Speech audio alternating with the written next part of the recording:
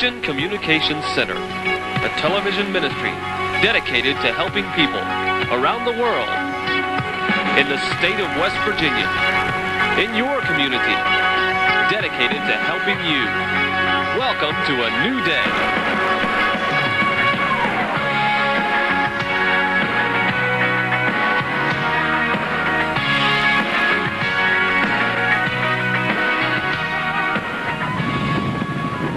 Hello, everyone. Welcome to a new day. It's good to have you with us. I'm Jack Kincaid, and for the last couple of days, we've been just spending some time here in the Elkins area, up on top of the mountain at uh, Bobby Lowther's house. Bobby's the pastor of Heart Chapel, and and uh, we've been here before, and and uh, of course, as you know, Bobby's been sharing from the Bible. But but I'm going to tell you what, I, I came up here for another reason too. He's taken me out in the woods. We've gone hunting together at different times. We've spent a lot of time together out in the woods. And uh, last year, I think it was, or two years ago, he really took the time to tell me the story in detail of a few years ago when he killed a bear with his bare hands. And I see his wife up there waving some pictures, and I and and we're going to get some shots of that uh, of that bear, actual bear. But I want one of the things that I wanted to do in coming up here was uh, was was just sit down with Bobby, and I don't know how long it's going to take, but I wanted to tell the story of how he killed a bear. He he actually got a bear that was wounded in an, in a chokehold like that, and he killed that bear. Now it's the truth. It's hanging on the wall in there and uh, maybe we can get a shot of that that trophy that's on the wall before we leave as well. He shared it in brief one time on the program years ago, but never in detail. And I wanted to take some time today and just tell us all about that. And it was old Ben, old Dan, that's right, that was with us, uh, that that was with Bobby that day. It literally saved his life. I'll tell you about Dan too. So stay with us. It's going. You're going to this is a fascinating story. It's been written up in sportsmen's magazines. I want him to tell it for us firsthand today exactly what happened. Happened right here in this Elkins area. Stay with us.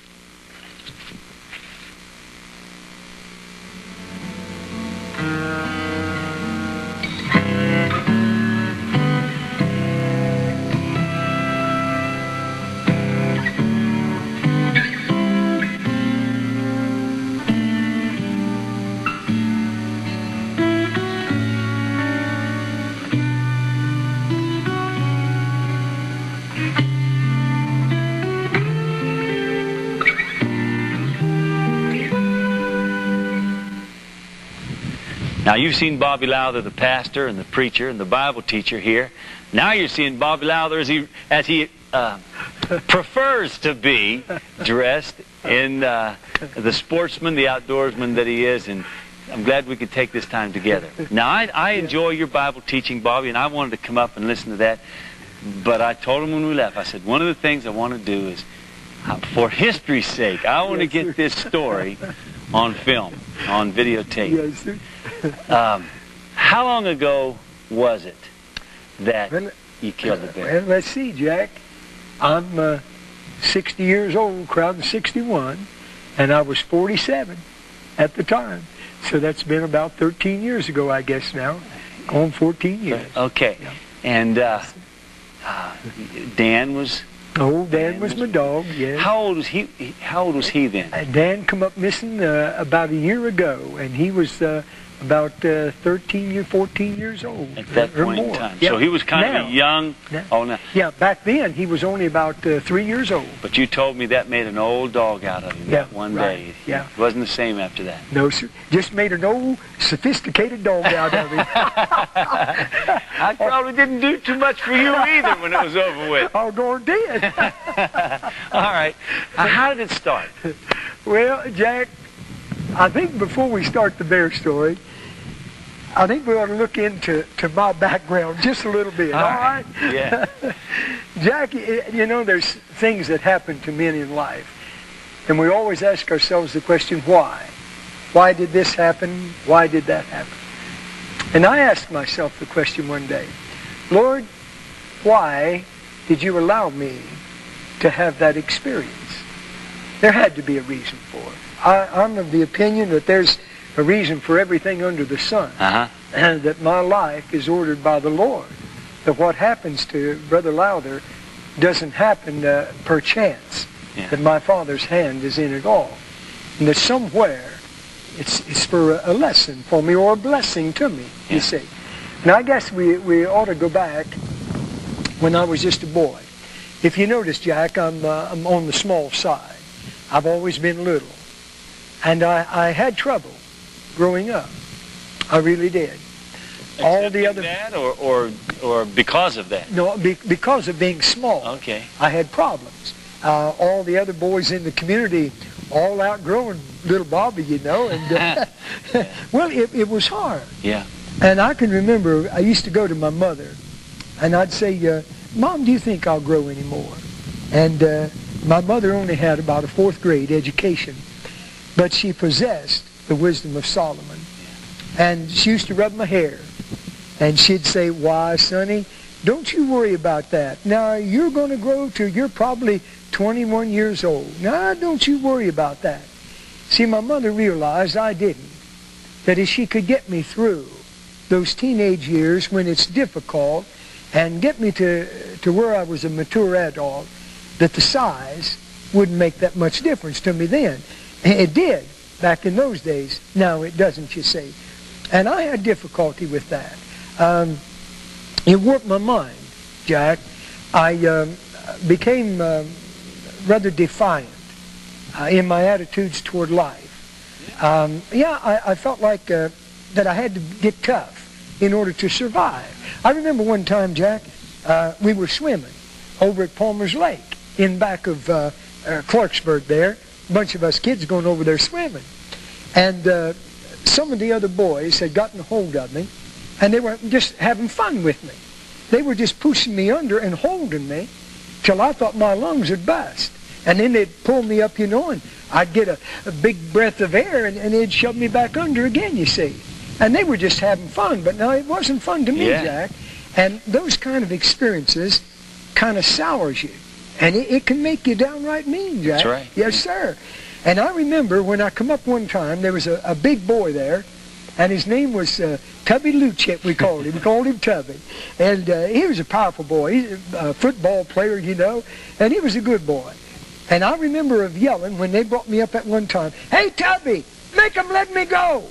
And I remember of old Tubby saying, Hey, you guys let Lowther alone. They let me alone. Tubby Luchit was my best friend. for, for life. Amen. Bless his heart now because he came to my aid. See, but it was things like that, Jack, that uh, that affected Yeah. my life and, and my attitudes toward growing up. And uh, then at the age of 19, Jesus Christ came into my life. Yeah. And he, he really changed me, Jack. Um, if it hadn't have been for Christ reaching me when he did, I would never be sitting here on these logs today. Yeah.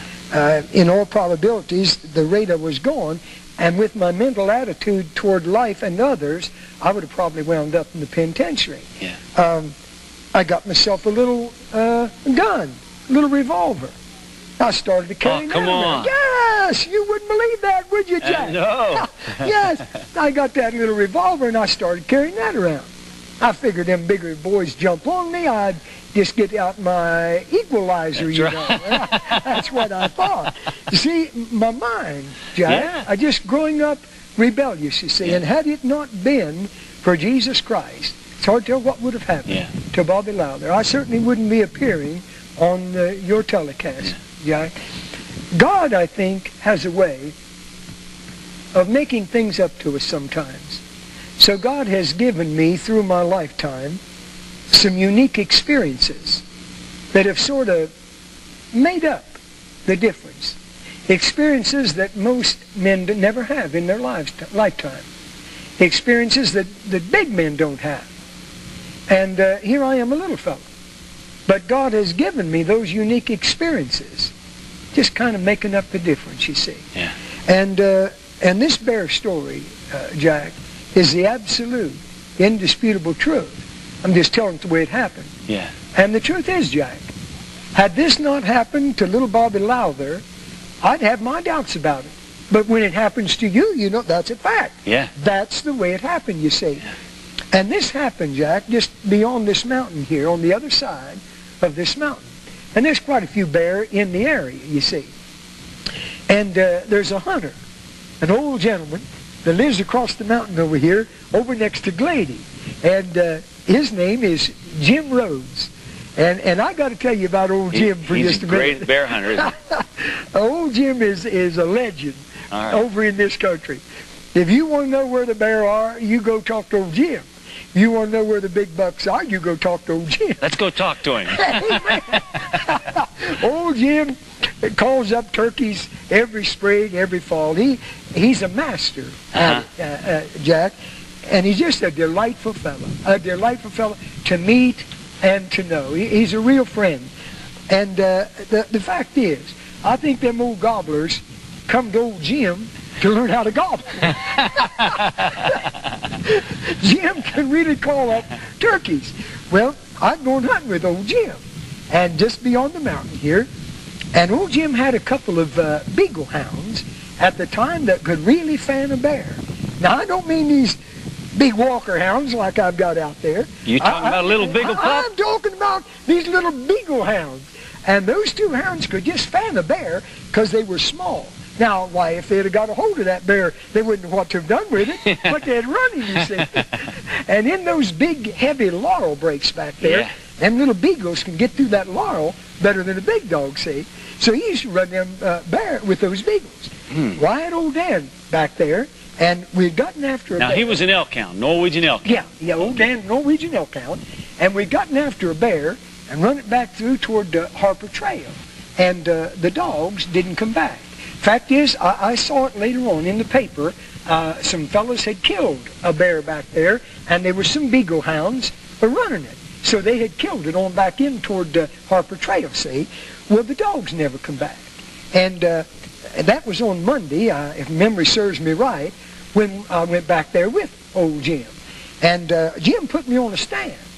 And he said, now, preacher, you keep a watching down over the mountain, because if a bear comes through here, now he'll come right up through there. And he just pointed right straight down through the woods there. He'll come right up through there. I said to myself, now, Jim, how do you know that bear's going to come out up through there? I got cold, and it built me up a fire. And old Jim had taken the dogs and went over again the other mountain, say. Well, I heard the dogs cold trailing over there. And I kept watching down there where old Jim told me to watch. And there nothing come through. And my gun was over here leaning against a tree. And I had uh, uh, bent over, had just looked down there, bent over, and was stoking my fire up. And looked back up, and right exactly where old Jim said that bear had come through, right there come that bear. And I jumped across the fire and grabbed my gun, and the bear saw the movement, and he run out to the left, and I lost sight of him behind some small pines. Well, right here's a trail goes out. And I'm surely he's going to cross that trail. So I swung around, got ready for him, and he never crossed. And I thought, what happened to him? And I lowered the gun. And he must have had his nose sticking out there watching me. Because when I lowered that gun, He that bear took two jumps and was gone. Well, about an hour later, here come old Jim with uh, the dogs, and we put them on that bear, and they run it through Harper Trail, and that's when these people shot it over there, say. Well, th- those beagles didn't come back, and uh, I went back in on Thursday. I got up here, it was before daylight, and uh, I wanted to travel light. Now Dan, old Dan came back. with Yeah, you. old Dan come back. But the 9:30 Beagles didn't. Yeah, the Beagles did. Old Dan at 9.30 that night come up on the porch here. 9.30 that night. Tired and wore out. I got up the next morning before daylight, and I thought, I want to travel as light as I can. So I left my 30-06 in the room and got my wife's 270. It's a little lighter. But she only had four shells for it. Well, I'm not expecting to run onto a bear anyhow. So I took her gun and those four shells. Now there laid my knife. I wanted to travel light. Left my knife laying right there. Said to